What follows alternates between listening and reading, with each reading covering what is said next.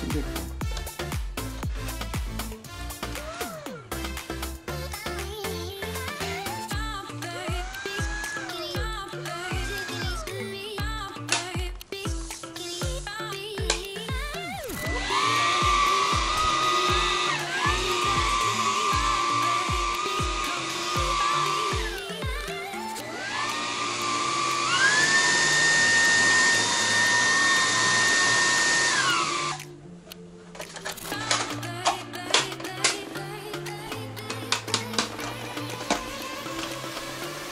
어우, 완벽해.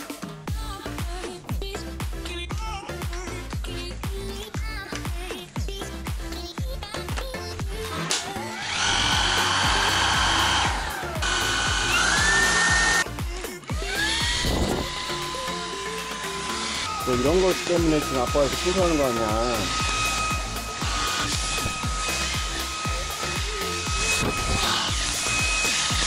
됐어.